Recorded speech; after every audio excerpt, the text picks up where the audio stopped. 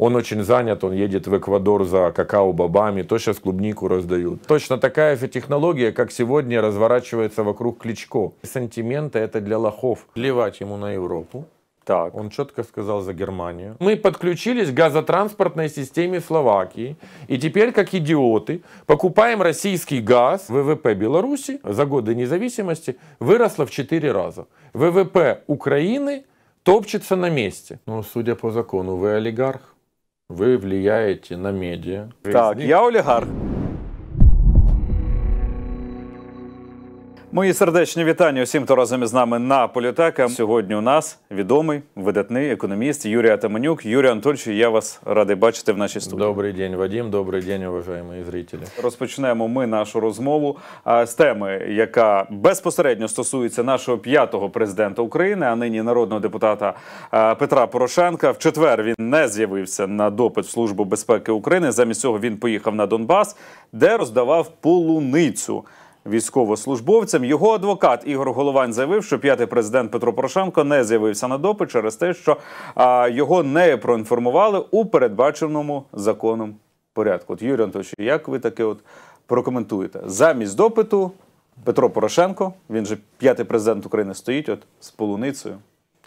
Ну, э, мое глубокое убеждение, что у нас э, Украина начнет продвигаться вперед тогда, когда э, некоторым президентам клубнику будут э, передавать родственники в изолятор временного содержания э, когда они будут находиться под следствием. Знаете, вот развивается Южная Корея, я уже не раз это приводил примеры, развивается Бразилия, э, развивается Египет достаточно, эм, страны Европы, эм, Хорватия. Все страны прошли через коррупционную очистку именно первых должностных лиц страны. Мы, если мы смотрим топ-страны, ну не занимаются сегодня бывшими премьер-министрами Великобритании, а именно действующим премьер-министром, только он поехал на Карибы, и уже идет изучение морального аспекта этого поступка, поступка нарушения возможного трудового законодательства, коррупционного законодательства, кто проплачивал, кто организовывал, почему, э, с кем ехал и так далее, и так далее, и так далее. Аналогичная ситуация, если мы помним э, по э, дела вокруг э, сына действующего президента США, не могли возникнуть, пока он не был президентом, только он стал президентом, три уголовных дела открыто, идет работа. Когда был Трамп президентом, то два импичмента, пока он был. Вот это зрелые государства, которые э, действительно имеют рубеж, имеют черту. Ну, еще так, чтобы дополнить Натаньяху. Пожалуйста, уже второй раз под коррупционным преследованием, под проверкой. Это так. А у нас же все время находят каких-то стрелочников. И мы видим два подхода. Вот у нас два топ-политика, вокруг которых сегодня криминальные вопросы. Медведчук и Порошенко. Ну, Порошенко то повестку не могут вручить, то его найти не могут, то он очень занят, он едет в Эквадор за какао-бобами, то сейчас клубнику раздают. Э, Медведчука более начали прессовать, все сразу находили, все делали. Это избирательное правосудие ничего не имеет э, с торжеством права, а исключительно с правом силы. Поэтому, э, когда общество голосовало за Владимира Александровича, когда мы голосовали за слух народа, то один из моментов, да, первое, мир, язык, экономическое развитие, восстановление государства, но один из э, было требованием общества, запрос в обществе, чтобы дать оценку топ-коррупционерам, топ-чиновникам, и вот это вот «прийде весна, будем саджаты», да, этот лозунг, он воспринимался обществом, потому что нужно подвести черту. Ну, запад нужно подвести так. черту, почему Кравчук из самого богатого государства э, постсоветского союза сделал самую нищую республику Советского Союза. Почему Кучма сделал олигархат? В интересах кого из своих родственников? Как проходила приватизация? Почему при все Ющенко подписывались неправильные и ущербные для Украины газовые контракты? Э, Почему пошел стремительное падение производства? Где эти именно коррупционные э, серьезные дела времен Януковича? И в конце концов э, сколько говорилось о Порошенко. И Панама Гейт у нас был, и Укроборонпром у нас был, и схемы на таможне в налоговой работали, и госпредприятия работали непрозрачно. Где это и все? плівки за участю Все, Петра что Порошенка побегали, продовжують все, что з'являтися. побегали и все, что увидели, это побегали Юрій вокруг Анатолійович, музея и картин. Ну, давайте ми з вами ще до слова згадаємо нещодавну прес-конференцію президента України Володимира Зеленського. І журналісти там ставили главі держави питання щодо м, е, Порошенка і нагадували те, що він казав на цих е, всесвітньо уже відомих дебатах на НСК Олімпійський. І Володимир Зеленський повторив: Я став для Порошенка вироком, тільки він і до сьогоднішнього дня це не зрозумів і не усвідомив. От на вашу думку, а чи щирий тут в цьому твердженні Володимир Олександрович Зеленський? Чи лукавить? Мы же понимаем, что такое приговор для президента. Да? Поэтому все остальные моменты, когда, э, ведь, когда идет криминальное производство в отношении кого-либо, и оно заканчивается закрытым уголовным делом, то это в итоге добавляет политические баллы. Это в итоге потом, когда Порошенко идет на выборы, он говорит, смотрите, обо мне много что говорили, вот я два года не у власти, вот меня все проверили, при этом были враги, при этом средства массовой информации, антагонисты, но в итоге следствие убедилось, что я чист. Поэтому это все наговоры, поэтому идем вместе со мной к светлому будущему. Поэтому в данном случае это быстрее технология. Потому что э, точно такая же технология, как сегодня разворачивается вокруг Кличко. Да, потому что видят, что он стал конкурентом на выборах и начинают делать массовую активность. А ведь э, и это люди понимают, что это политически заангажировано. Хотя я являюсь полным оппонентом Кличко из того, что он превращает город Киев в помойку. Но э, вот было два года. Вот брали э, одного из замов на взятки с поличным. Он все восстановился, все работает. Пан Поворознюк. так. Да, э, были другие вопросы. Где этот э, аудит страны, где аудит Киева по поводу этих долгостроев, по поводу пятикратно завышенных цен на инфраструктурные проекты. Где это все сделано Ну, и цього дана немає. этому Соціально-політична оценку. Да. боротьба в угоду Поэтому, когда было Социологических выгодно показателей. договориться с киевской администрацией, договорились, звучали какие-то там фамилии э, а-ля Коля Тищенко, который был мостиком переговоров между офисом президента и администрацией. Все тихо, нормально. Когда подошли к рубежу политической активности, началась э, вот такая охота на ведьм. Поэтому общество на это смотрит, и э, это все понятно. Это, знаете, такая внутривидовая борьба, как пауки в банке. А кто борется ради того, чтобы менять страну? Кто борется ради того, чтобы изменялась Украина?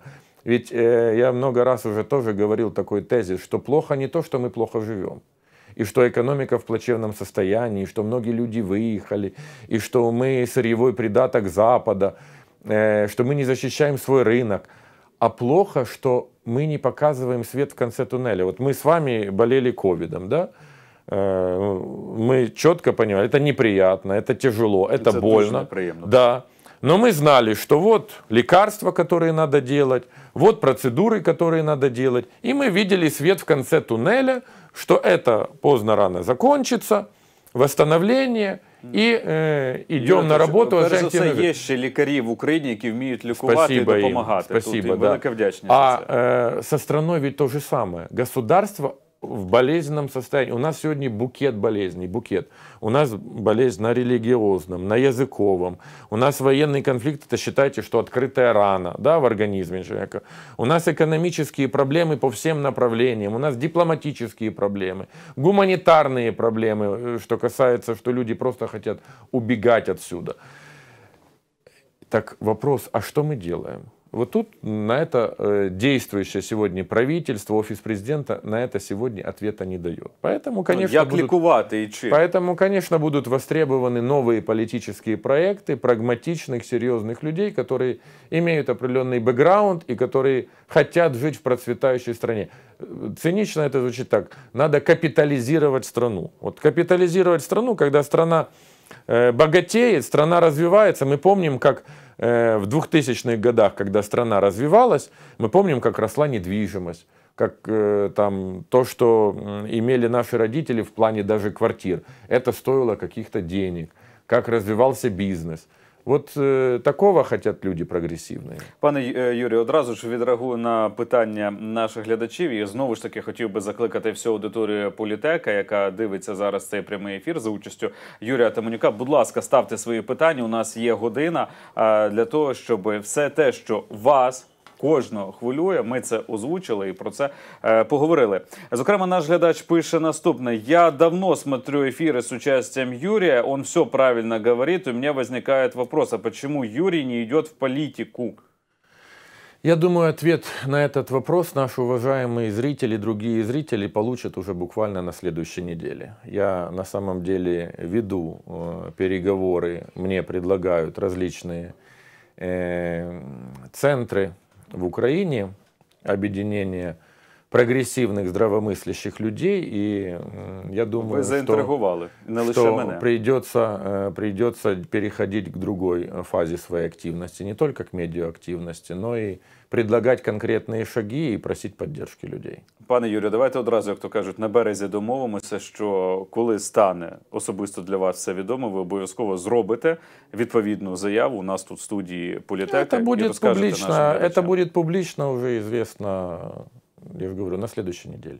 Гаразд, тоді нам залишається лише е, дочекатися, М, е, пане Юрію. От е, знову ж таки, давайте ще декілька слів. Ми скажемо про Білорусь, про білоруські події. Ну з вами, як з економістом, в першу чергу будемо говорити про м, наслідки для економічного співробітництва України та Білорусі. Зокрема, сьогодні стало відомо про те, що ну Білорусь припиняє постачання бензину А 95 в Україну. Про це сказав Я попрошу вывести на экран э, Ребята из э, сайта «Слово и, Слово и дело» Так. э, сделали хорошую аналитику, и здесь виден товарооборот, динамика товарооборота с Беларусью. Вот э, мы нашими действиями э, ставим э, под удар вот, э, вот эту диаграмму, но за каждой диаграммой же стоит живой человек. Вот как облетела социальные сети, что там женщина после пересадки почки не могла и не может вернуться в Украину, и никто об этом не подумал. Э, Так и э, что касается наших взаимоотношений с Беларусью. Мы видим, что э, по результатам деятельности прошлого года пошел каскад отчетности госпредприятий Украины об убытках. Энергоатом убыток, железная дорога убыток, нефтегаз убыток. Да? Ну, то есть, ну, такие алогичные пошли э, движения в экономике. Ну, э, теперь мы ждем, э, что про убытки отчитается э, госпредприятие аэропорт Борисполь. Э, Предприятие, это не государственное, коммерческое, уже глава наблюдательного совета в прессе Денис Косторжевский выступил, что Жуляны без 10% дотаций э, да, будет убыточный. Аналогично э, аэропорты Львов, аэропорты Одессы покажут убытки. Знаете, когда отказывается от направления в Беларусь Air France, то мы понимаем, что направление Париж-Минск для Air France, да, это э, вот 0, запятая, и потом пошло много нулей, и потом где-то единица процента, да, потому что Air France летает по всему миру, и там только э, потока в Америку или э, в Юго-Восточную Азию идут колоссальные. Но когда мы говорим Украина-Беларусь, э, это вопросы. Мы говорим о дипломатической э, вот такой вот противостоянии, а при этом э, мы забываем, что ведь Беларусь поддержала Украину в том, что Крым наш, да? Ну, а мы к чему подталкиваем? підтримав Олександр Лукашенко. Да, а мы к чему подталкиваем Беларусь? Чтобы Беларусь э, заняла другую позицию, противоположную? Мы это хотим на мировой арене? Или мы считаем, что нам это безразлично? Второе. Мы хотим, что Россия уже предложила Беларуси летать Белавия в Крым. Ну, до речі, сьогодні Да. в Сочі відбудеться зустріч Олександра Лукашенка і Володимира Путіна. І хто знає, можливо, там вони И, домовляться. ну, про це. э, и, э, и м, ключевой следующий вопрос. Вот что касается нефтепродуктов. Знаете, когда м, я э, говорю такую тезу, что с точки зрения экономики, с точки зрения экономического развития своего государства, Лукашенко эффективнее всех наших предыдущих президентов вместе взятых. это подтверждение цифр, потому что ВВП Беларуси за, это, за годы независимости выросло в 4 раза. ВВП Украины топчется на месте. Кроме того, давайте мы сейчас вот э, то, что коснется каждого, вот меня коснется, вас коснется, всех, у кого есть автомобиль, и всех, кто пользуется маршрутками, вот, э, и, за ним, и привязан к автотранспорту, вот коснется всех. 50% рынка Украины завязаны Мозырский нефтеперерабатывающий завод и завод «Нафтан». Да? Ну, извините за грубое слово, мы просрали нашу нефтеперерабатывающую промышленность. У нас было 6 заводов. Херсон, Лисичанск, Одесса, Надвирна, Кременчук. 6 заводов было. Один остался работать. В Беларуси было два завода, два работают. 83% продукции у них идет на экспорт. Мы останавливали заводы, они проводили реконструкцию. Мы дошли до маразма, что их э, э, продукция транзитом через Украину поступает в Европу. То есть мы богом данная транзитная страна с портами, с нефтепроводами, с путепроводами, с огромной границей с Европой. Мы стали, имея 6 нефтеперерабатывающих заводов, мы стали потребителями белорусского э, нефтепрома. Ну, молодцы белорусы, молодцы, работают в интересах своей страны. Вот оценка всех предыдущих премьер-министров, всех, кто работал в энергетической сфере, всех президентов предыдущих. Потому что такой вопрос, как работа Лисичанского, Одесского, Херсонского нефтепрома, э, должен был рассматриваться на уровне президента страны, на уровне РНБО, как его загрузить, какие дать преференции, чтобы он работал. Я через призму людей вам скажу. На Мозырском нефтеперерабатывающем заводе работает 5000 работников. Динамика за последние 10 лет роста количества работников, потому что они все время делают реконструкцию, добавляют э, новые возможности, новые агрегаты, новые э, ступени переработки. На заводе «Нафтан» работает 10 тысяч работников. Имеем уже 15 тысяч высокооплачиваемых работников, которые работают на экспортно-ориентированных предприятиях.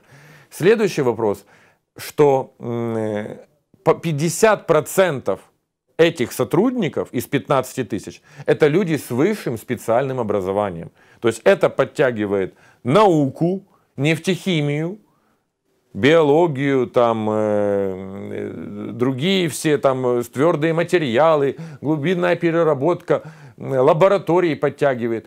Это подтягивает образование, это подтягивает мотивацию, это интеллект нации. У нас же ситуация, которую предложил Витренко, когда закрывать урановый рудник. Надо едьте в Польшу, завод будем закривати. От у нас так закрили. Ну, це закрили. думка урядовця. П'ять заводів. Да. Він про це казав в статусі виконуючого Поэтому, знаете, вот я хочу, э, мое отношение к санкциям, э, может быть, оно будет для кого-то скандальным выглядеть. Я попрошу вывести фотографию Джамаля Хашаги.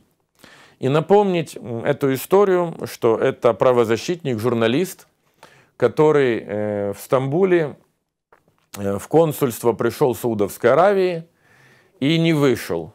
И потом, как оказалось, его, это была спецоперация э, Саудовской Аравии, его там пытали, его там убили, его там расчленили, э, нашли остатки, в том числе в колодце, и это взбудоражило мировую общественность. Да, это вот, я привожу аналогию, вот Протасевич, да, вот мировая общественность взбудоражила.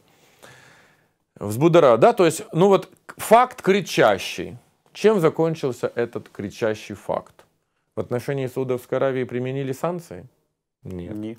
Кто-то разорвал с ними авиасообщение, дипломатическое сообщение, кто-то поставил условие, что кто-то там кровавый диктатор, э, еще что-то.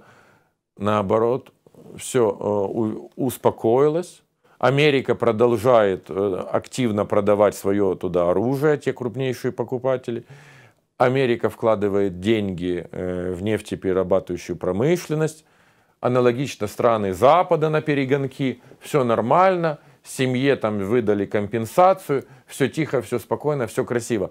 Знаете, мир прагматичен и циничный. Извините, сантименты это для лохов в мировой политике и в мировой экономике. Там, где есть рынок, там, где есть рабочие места, там, где есть энергоресурсы, там, где есть зависимость, там не может быть никакой морали, к сожалению.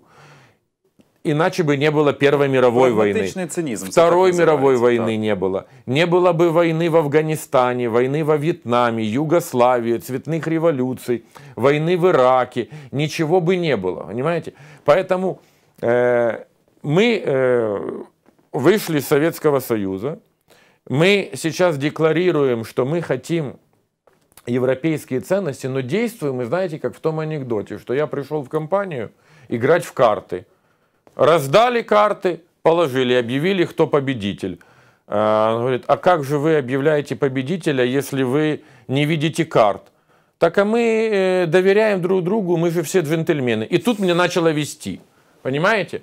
Так вот, э, мы, должны играть по правилам, прагматично, цинично в интересах Украины. И если нам, мы зависимы сегодня от белорусской электроэнергии, если мы, имея наши атомные электростанции, мы так поступили с нашей энергетикой, что мы стали зависимы. А зависимы в феврале месяце, когда у нас были морозы, и нужно было добавить электроэнергию, нам добавили в сеть электроэнергию какую? Беларусь и Россию. Понимаете, и сейчас, когда некоторые политиканы кричат, нам нужно быстрее отключиться от системы энергоснабжения Беларуси, России, подключиться к европейской, так возникает вопрос – а ви в інтересах чиєї страни це говорите? Міністр енергетики Герман Галученко сказав, що це сприятиме євроінтеграції України. Конечно, очень сприятиме, но на условиях э, Европы, но не на условиях Украины. Потому что мы подключились к газотранспортной системе Словакии, и теперь, как идиоты, покупаем российский газ через Словакию, оставляя долю прибыли Э, маленькой, но гордой Словакии. Понимаете? А теперь что надо сделать? То же самое надо с электроэнергией сделать. Ну вот такая задача стоит.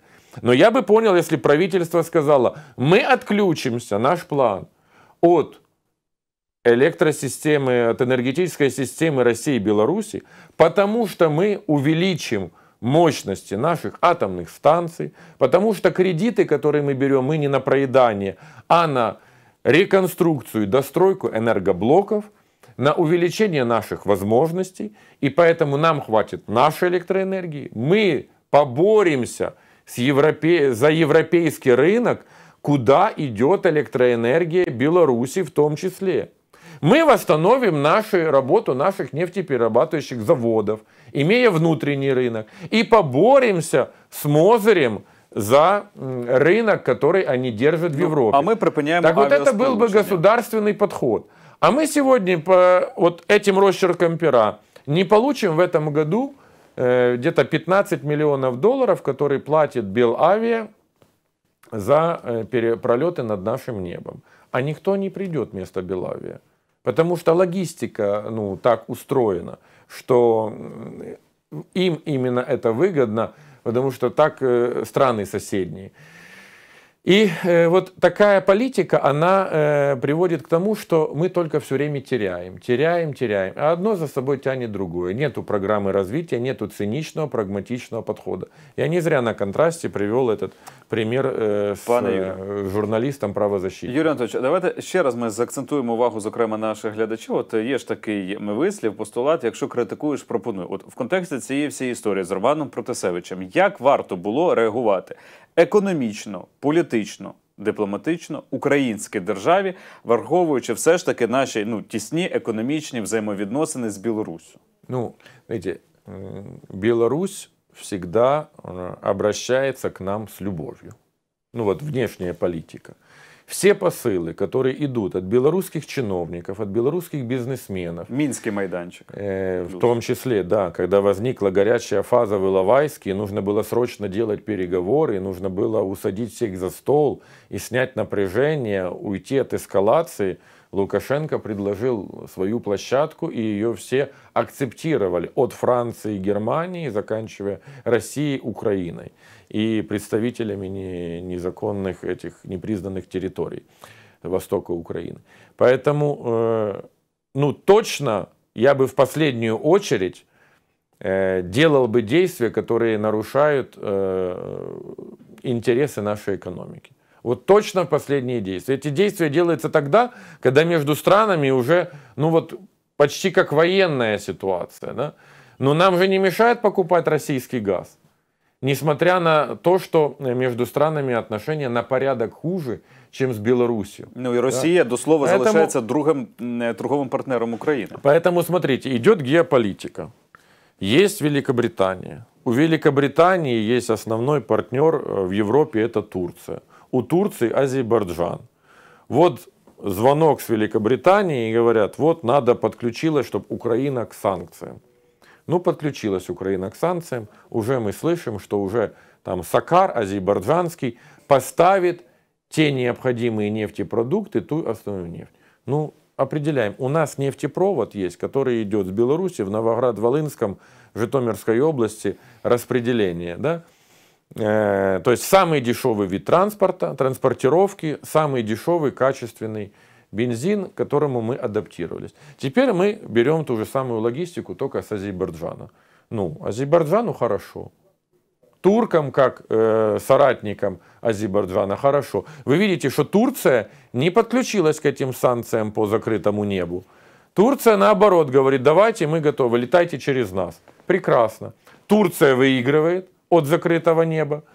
Азербайджан выигрывает с нефтепродуктами. Этот вектор стран усиливается. Украина только в минусе. Ну, я понимаю, если бы цинично, Турция сказала бы с Азербайджаном, мы вам нефтепродукты, берите наши, мы их вам дадим дешевле.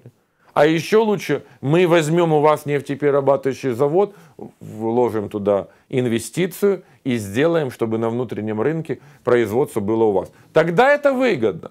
Но обратная ситуация, это как с американским жиженным газом, когда Европа берет с Алжира из Катара, а мы заключаем договор с Америкой, который газ в три раза дороже. Ну, это оплата за политическую поддержку, но оплата ценой экономического суверенитета и загоняет нас еще больше вот в такой вот виток поддержки, потому що ми становимося не суб'єктом. Пане Юрію, так а в чому ж е, проблема? Тому що коли ми кажемо про те, як е, обстоюють свої національні інтереси інші держави, ми можемо там керівникам цих держав, е, урядам держав плескати в долоні. Коли ми кажемо про те, як позиціонує себе Україна ну ми розводимо руками і кажемо: ну, те, що робить влада, незалежно від кольорів, незалежно від того, хто є прем'єр-міністром, це ганебно. Чому так? Вот в чем ну, проблема? Ну, последний раз, вот, кому аплодировали, вы знаете, когда Ангела Меркель объявила, что она уходит, то вся Германия вышла на балконы и аплодировала, потому что 18 лет у власти демократическим путем побеждала ее партия, имела большинство в Бундестаге, делала в коалицию и приводила ее э, постоянно к канцлеру. И мы видим, как устойчиво Германия проходит и все катаклизмы, связанные с техногенными различными, с наводнениями, с катастрофами, с карантином, э, как э, Германия является крупнейшим инвестором, опять-таки в Юго-Восточную Азию, а, к сожалению, не в Украину. У нас вот аплодировать пока что некому, к сожалению.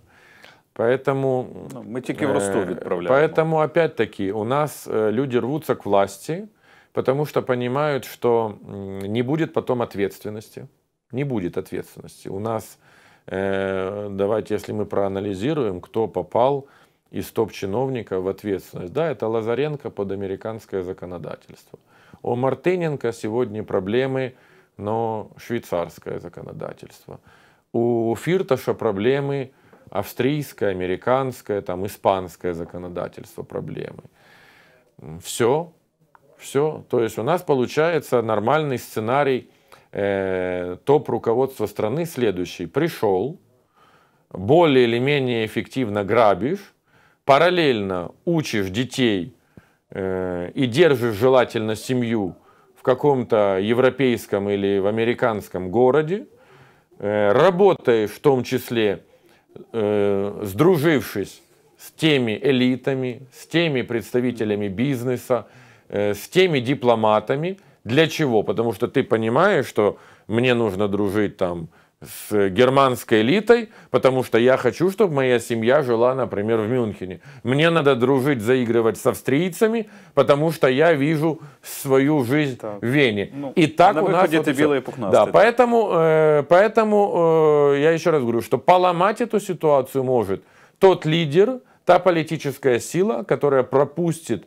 через жернова правосудия топов української політики, прежде всего президентов. Ну не називаючи Прежде пане всього. Юрію цих прізвищ. так ви я лідерів- всіх президентів вже назвав. що ж не, Не називав? називаючи, я маю на увазі, я інше маю на увазі. А, не називаючи прізвищ, ви бачите цих лідерів зараз? Ну, майбутніх лідерів. Знаете, мне всегда в украинской э, вот, э, э, власти не первых э, звеньев, а вот вторых позиций, мне нравилось всегда два человека. Мне нравился, к сожалению, покойный Кирпа, Потому что был результат работы Министр Кирпы. Конечно, когда строились, я видел, э, я был тогда на рядовых должностях еще, и я как э, э, часто ездили поездами, и когда мы видел, когда отстраивается в каждом селе ЖД вокзал, не говоря о каждом областном центре, когда поднялись, восстановились аэропорты и авиасообщение внутреннее восстановилось в Украине. Но, к сожалению, может быть, потому его и не стало, что он был угрозой именно вот такого вот прагматичного отношения к развитию страны. Второе, э, мне довелось э, э, видеть, э, потому что я в 2012 году от силового блока участвовал в координационном вот штабе организации Евро-2012, за которой отвечал Колесников.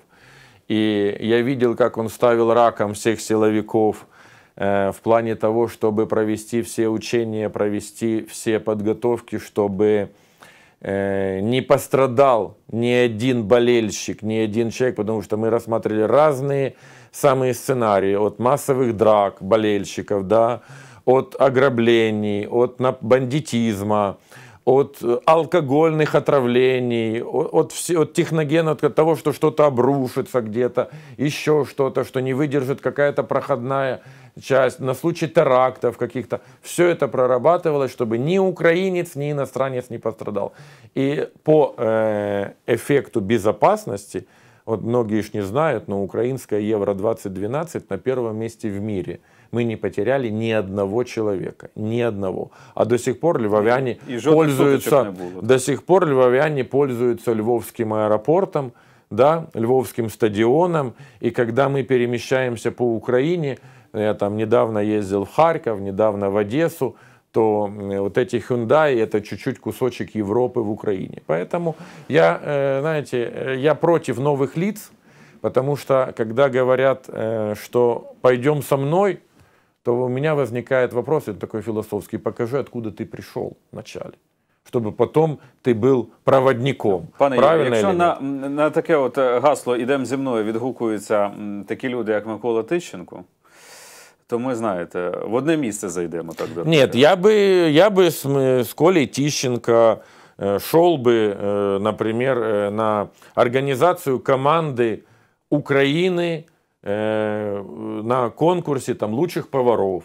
У нас есть такой конкурс в Стамбуле, проводит. И, кстати, Украина, команда Киевского торгово-экономического университета Мазараки, э, периодически занимает там первое место. Поэтому, если бы Коля, как известный ресторатор, он молодец, я уважительно к нему раньше относился, потому что человек ушел с такого прошлого, понимаем какого, э, которое было в 90-х годах, он начал Ну, создавать бизнес, он э, создавал рабочие места, он э, делал красоту в Киеве, это было нормально, красиво, отлично. Когда он начал заниматься государственным строительством, извините, не по сеньке шапка, и вопросы к тем, кто ему уполномочил это делать, это нельзя, это преступление против государства. Президент України Володимир Зеленський знову ж таки згадуємо нещодавно прес-конференцію. Казав про те, що йому дійсно соромно за багатьох а, чиновників. Але тут треба сказати, Володимир Олександрович, не лише ви е, червонієте за деяких ваших колег і підопічних, які на вашому горбу потрапили до Верховної Ради України, але і всій Україні за них соромно. Пане Юрію, Не давайте стыдно. Пот- Знаете, когда стыдно, ну вот, э, несмотря на то, что Яременко прошел по округу, и понятно, что если его выгнать из парламента, э, были бы проблемы повторного прохода по этому округу услуг народа, так но- Тищенко також Э, мажоритарник. да, э, но э, если после такого скандала с Еременко его надо выгонять, а не держать на комитете по международным делам. Мы имеем, вот у нас все это проблемы дипломатии, дипломатии, проблемы, что мы неправильно ориентируемся в международной политике, что мы проигрываем на дипломатической арене. У нас конфликт просто со всеми. А с кем нету конфликта, мы у тех вызываем просто брезгливость или раздражение, потому что коррупционные, проворовавшиеся, беспорадные, знаешь, а, и при этом приходим, дайте денег. Ну дайте денег, когда они у вас есть под ногами, это не воспринимается. Когда приходят там Центральная Африканская Республика, где э, у людей нет денег, чтобы импортировать воду, где нету дорог, где нету денег, чтобы там прививки от полиэмилита сделать и эпидемии болезней, то это общество богатое понимает, чтобы не бы, почему они туда дают, чтобы не было гуманитарной катастрофы, чтобы не было беженцев. Потому что другого варианта нету. И нету еще готовности вкладывать туда инвестиции. Но когда Украина говорит, что нету денег, и приезжают люди э, уже с официальными миллионными зарплатами, и с известными всему миру неофициальными многомиллионными доходами – понимаете, э, то о каких можно говорить э, отношениях нашей страны.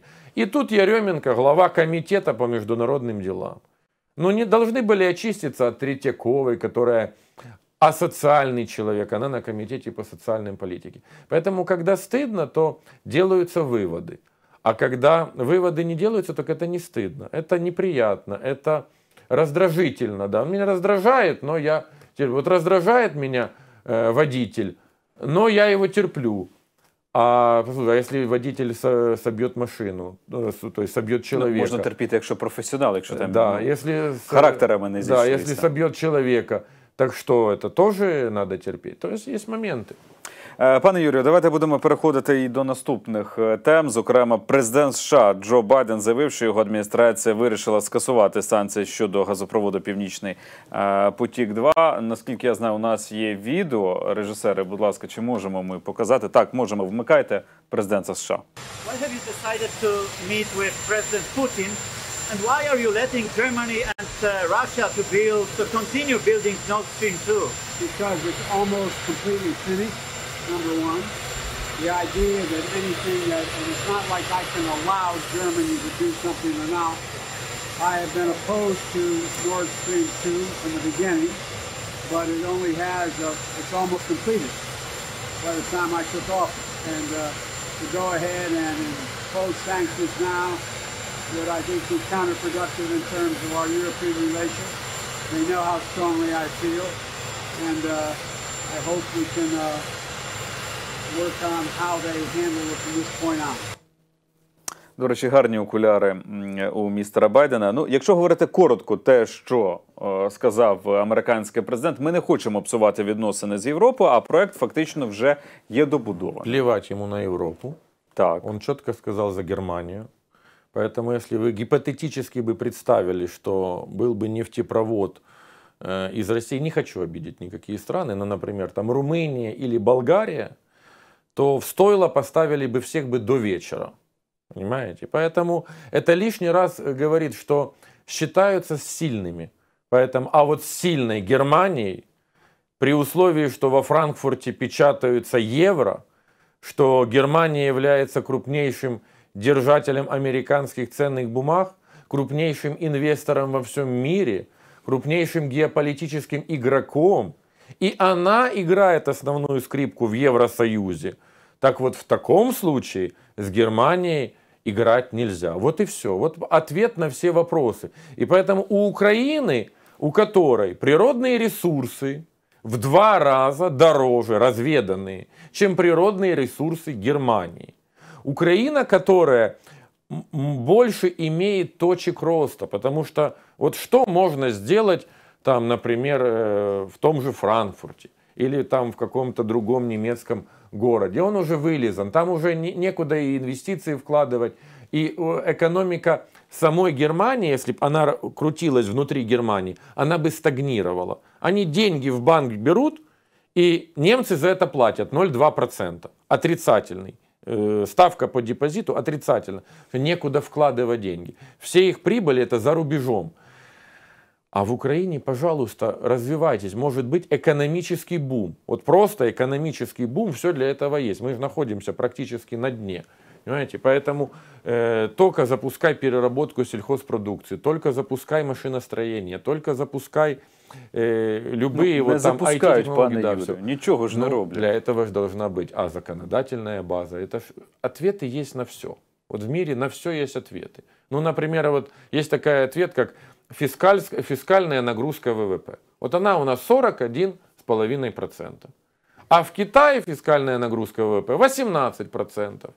И Китай показывает устойчивый рост. То есть показывает, вот чем выше налоги, тем страна становится э, менее развивающей. Понимаете, когда нас сравнивают с европейским налоговым законодательством, с европейскими ставками, послушайте, это старые деньги, это хорошая инфраструктура, это высокие зарплаты и высокие расходы, это разные вещи. Но в свое время, когда они были слабые, там были другие налоги, там были другая экономическая политика, и там не было э, разговоров о свободном рынке. О каком свободном рынке? Со времен буржуазных революций каждая страна э, завоевывала, держала свой рынок закрытый, и когда возникали там э, Ливерпуль, Манчестер, э, города, они росли. Они росли за счет протекционистской политики тогда на тот момент по шерсти, для того, чтобы поддерживать свою ткацкую промышленность. Когда пошла поддержали. Аналогичная сталелитейная промышленность США, которая была двигателем, которая пошла сталелитейная промышленность, пошла строительство железных дорог, улучшилась логистика, Морган Стил, и понеслось, понеслось, понеслось. А вокруг этого финансы закрутились, потому что нужно создать акционерное общество, финансировать ту же самую железную дорогу, а вдоль железной дороги пошли строиться городки, инфраструктура, и пошло развитие страны. На вашу думку, да. Україні треба Это утверджувати політику протекціонізму? Конечно, конечно, однозначно. Однозначно надо пересматривать вот эту экономическую часть, э, ущербную для Украины с Евросоюзом. У нас все есть внутри, у нас хорошая конъюнктура. Мы вот макроэкономически, э, Украины красивая картина. У нас растет экспорт и будет продолжать расти стоимость экспорта нашей сельхозпродукции, нашей добывающей, там то, что имеется в виду железной руды. Э, в мире все больше и больше э, требуется металла, э, требуется удобрений, так как более интенсивно используется сельское хозяйство, это наши химпромы, но просто нужно заниматься этими предприятиями. Нужно, чтобы эти химпромы не работали на мощностях 80-х годов, и ими управлял Фирташ непрозрачно, и вся прибыль оставалась, скачок прибыли оставалась у него в Швейцарии или на Кипре, и мы смотрели, как он красиво покупает за 50 миллионов евро дома на Капфера и в Вене, и вот смотрим вот это шоу «Суд над Фирташем», да, вот пять лет суда над Фирташем. И Фирташ 200 миллионов евро положил на депозит э, в Минюст Австрии, чтобы не сидеть в тюрьме. И це на тлі розмов про деолігархізацію. Ну, то есть, поэтому э, все ответы есть на поверхности. Ну, в начале этого надо, чтобы хотели первые лица страны это сделать, капитализировать страну. Второе, чтобы занимались этим люди профессиональные. У нас, к сожалению, нету ні першого, ні второго. На жаль, пане Юрію, перед тим як ми з вами будемо ще говорити про законопроект про олігархів, хотів би, щоб ви прокоментували в контексті північного потоку 2 заяву, яку зробив міністр закордонних справ Дмитро е, Кулєба. Він сказав наступне: Україна продовжить боротися за захист своїх інтересів, поки будівництво газопроводу Північний потік 2 не буде завершено повністю. Ніщо не завершено, поки воно не завершено 100%. І, До речі, я про це говорив державному секретарю США Ентоні Блінкену під час нашої вашей зустрічі? Ну вот, ну тарабарщину, что тут комментировать? Это э, из разряда людей, которых надо комментировать не через призму дипломатии. Это вот такие набор слов в экономике от Милованова можно услышать. Э, Півтора відсотка ВВП від ринку это, землі, это такое, это психофизиологическая тут проблема с людьми, которые приходят и возглавляют нашу э, дипломатическую всю работу в Украине.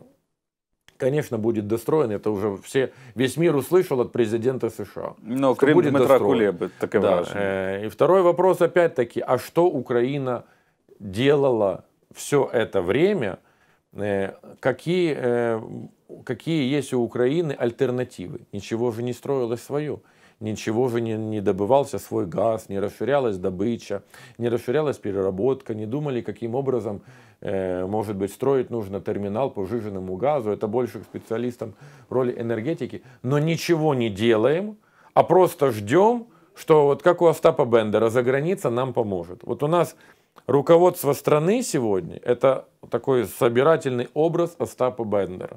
Но не поможет за Ну, границей. Захід просто так за не граница, так вообще не то, что не просто, не, не про- вообще Взагалі не помогает. буде, да. Вот могут лодки надувные передать. Холодильник. Опять-таки холодильник, если купите у них вакцину. Дорого, по коммерческой цене, засекреченной. А засекреченной, потому что в разные страны продают по разным ценам.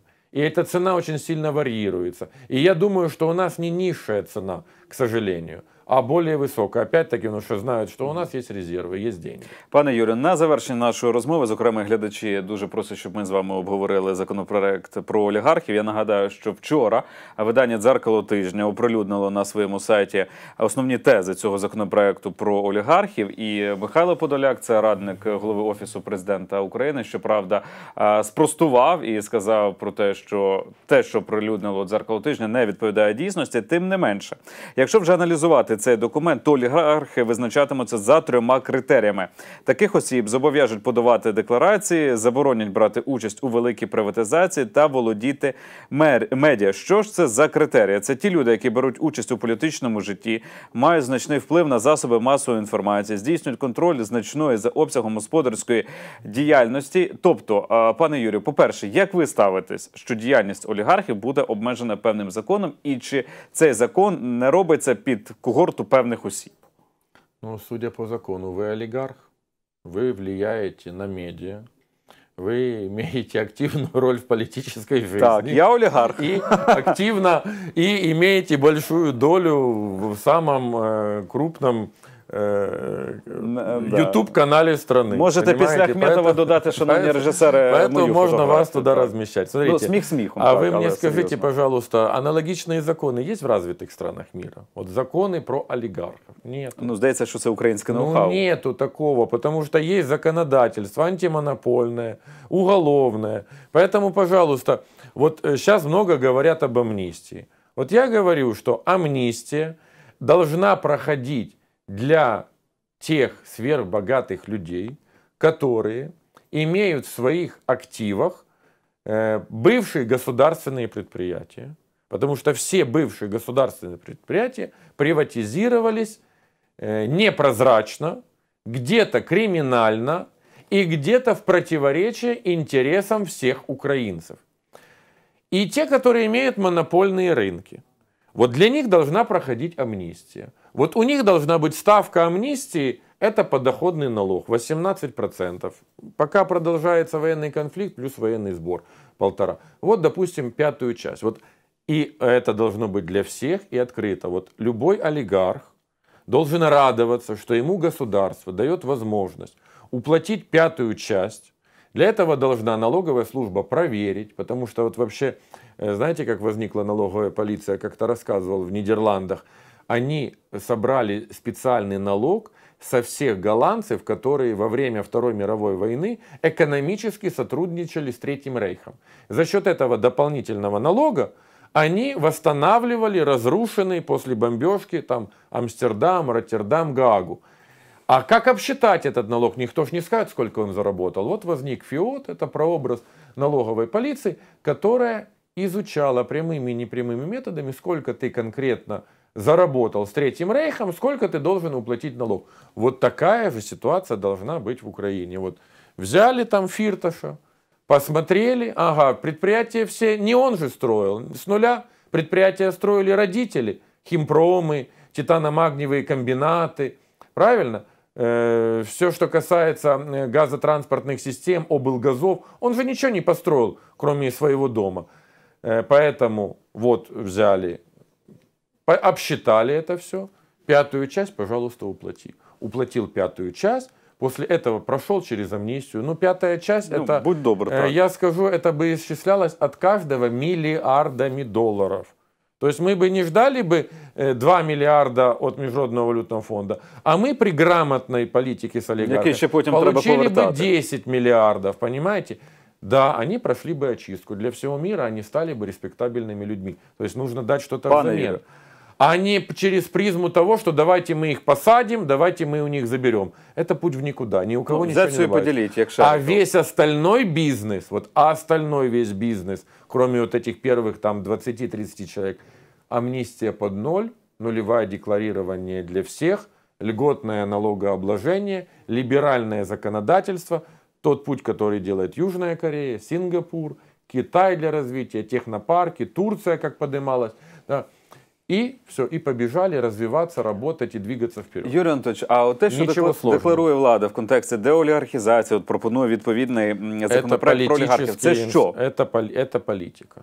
Это просто политика, это пиар, потому что э, вот, э, смотрите, команда 95-й квартал – это гении. Ну, объективно гении. Потому что ни одна шоу-программа... Ну, в своїй гумористичній царині так. Нет, нет. Принципе, во всем, в пиаре, в политологии, во всем. Потому что ни одна шоу-программа не смогла взять стопроцентную власть в крупном европейском государстве. Не было прецедента в мире. Ни Опра Уинфри, никакие там э, бразильские сериалы, не стали э, вот эти, что там снимали про эту там Мариану или там «Богатые тоже плачут», они ж не стали потом парламентом Бразилии управлять, да, хоть их смотрел весь мир. Миллиардные были доходы, да, не смогли. Голливуд не влияет, э, при том, что он колоссальный по бюджету конгломерат, огромное количество миллионов людей работает. Влияет он на политику, но он же не взял э, власть в Соединенных Штатах Америки и так далее, да. То есть это гениальные люди, надо это признать объективно, да. Просто понимать, куда эта гениальность направляется. А теперь дальше идет ситуация. Что востребовано? Пане Юрію, дорогі, Деолігархізація, вам, вам зараз от можуть будемо закинути, говорити. згадати, наприклад, е, приклади того ж Рональда Рейгана. Щоправда, перед президентством він пройшов відповідну школу, Вообще не мав тот бекграунд. пример. Ну вот смотрите, вот вообще не тот пример, как оказывается с Рональдом Рейганом. Потому что одно дело, молодой человек снимался в кино и имел специальное образование. После этого он пошел э, в партию, после этого он проходил все ступени Ну, от гільдію штата. кіноакторів очолював, Да, так. проходил все ступени от штатов, э, от губернатора штата, конгрессмена, проходил выборы. Это совсем другая А ситуация. Шварценеггер? Ну, Шварценеггер на хайпе сделали его губернатором штата. Ну так что такое губернатор штата? Это же не президент, не страны. Да, он был губернатор штата. Можно что-то изменить губернатор в политике Соединенных Штатов? Ну, Он лише у політиці побыл в відповідного самом, штату. в самом э, богатом штате Калифорния, он побыл губернатором. Ну, хорошо, да, м, это была дань его тоже имени. Ну и все. Так самое главное, что Зеленский может тоже все изменить. И время э, есть у него, и есть возможности. Просто это нужно наполнить системным подходом. Не так, как это звучит, вот, вот давайте закон. Так а зачем закон? Я же не зря сказал, что нету в мире закона. Это как был до этого закон о ворах в законе. Да, вот закон о ворах в законе. Да, Так, яке Рада національної безпеки уголовный- оборони У них должен так. быть закон, это бандитизм, рэкет, похищение человека, вымогательство, кража. И они должны сидеть по этим статьям. И мы должны только фиксировать, что у нас лидеры э, преступных организаций либо выдворены из страны, либо сидят, мотают срок. Точка, все. Пане Юрію, кілька хвилин у нас залишається до завершення нашого прямого ефіру. Що б ви побажали нашим глядачам, які дивляться прямий ефір, і згодом, а, звісно, що велика аудиторія Я буде всех дивитися у призываю записі. к оптимизму, потому что э, вот такие макроэкономические э, конъюнктура для Украины позитивная. Другое дело, что у нас плохо с перераспределением наших средств и богатств. Одни богатеют, другие беднеют. И э, призываю вот к такой общественной активности, а, отсутствие апатии. Потому что если мы будем апатичны, мы будем консервировать, соглашаться с тем, что происходит. Если мы будем слушать, смотреть, думать, выбирать, двигаться, но только конституционным путем, потому что любые революции делают свою страну только хуже, то э, тогда мы поздно или рано все равно придем к точке развития. Я верю в цикличность историческую. Я э, в памяти у меня все равно Украина Ярослава Мудрого.